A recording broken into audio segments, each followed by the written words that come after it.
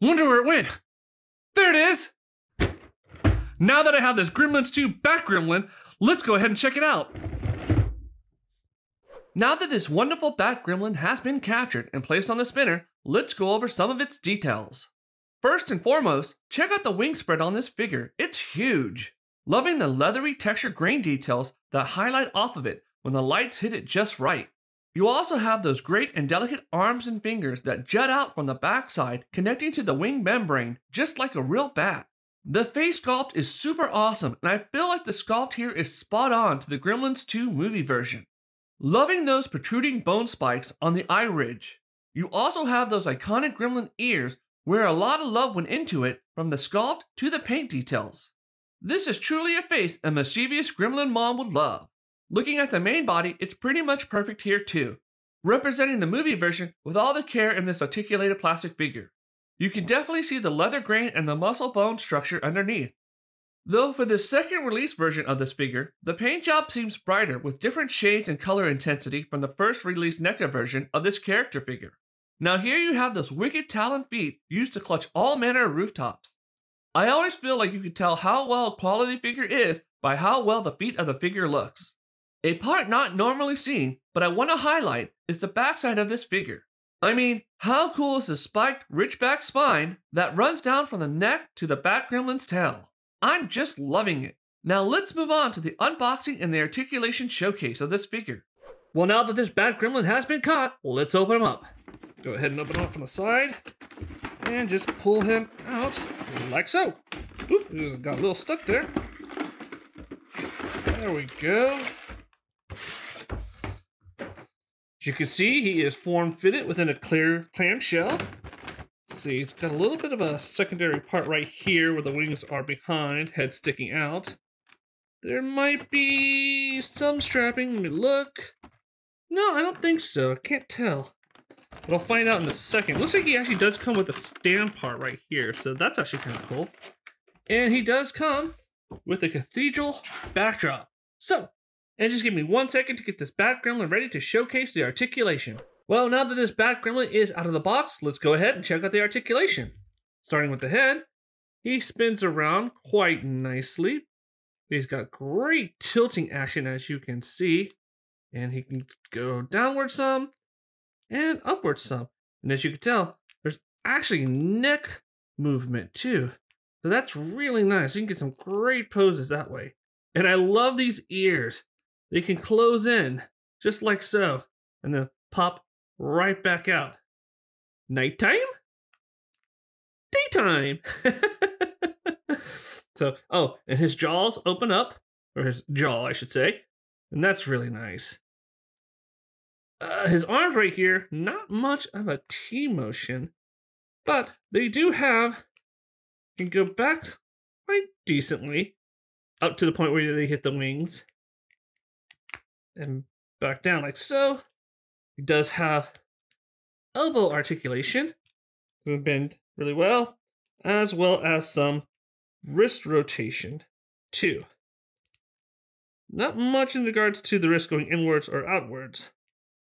Legs don't really do much there, but they kind of like splay out, as you can see. Almost frog-like. but there's also this nice knee rotation right there. The legs do bend like so. And the feet spin around, but nothing downwards or upwards too much, just minor. Does have holes at the bottom of his feet for a peg display stand. And going to the wings, because of how it was packaged, they curl in like so. So if you're going to try to straighten them out, Right now, they're just gonna curve back. So probably gonna have to use some heat on this. I'll try the old hair dryer method. Uh, they actually do have a joint here. As you can see, there is motion, but they are kind of adhered right there. So you're not really gonna be able to do much with them per se. And I don't know, but is it me? But this version, like, these are really purple wings, and on the box just to show you. Like, they almost look brown with spots on them. I feel like it's very different this version on this second release. But That's not a bad thing. It's just different. But all in all, the articulation is pretty great for a background of this size. And I think he has a really decent wingspan, which I'll go over with in a little bit. Oh, let's check out the stand real quick. Really easy to build. Here's the base. Here's the stand part. Snaps in like so. And the part to hold the gremlin itself snaps in like that. I'm assuming it's gonna somehow get onto the body. I don't understand it quite yet. Maybe at the neck area, that doesn't make any sense. but I'll figure it out. If not, I got another stand for it as well. So let's go ahead and check out the size of this Bat Gremlin. Now this Bat Gremlin from NECA is supposed to stand at 6 inches tall. Putting the ruler up to this gremlin, it does stand up to 6 inches when measuring from its feet to the tip of its ears. The wingspan of this Bat Gremlin is impressive, being well over 12 inches as you can see from my ruler. In fact, it actually measures out to be about 18 inches wide.